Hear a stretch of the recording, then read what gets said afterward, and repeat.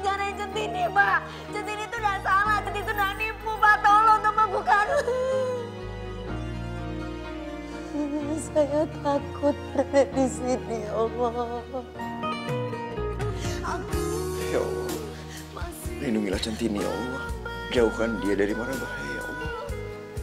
Hanya Engkau yang dapat menolongku, ya Allah.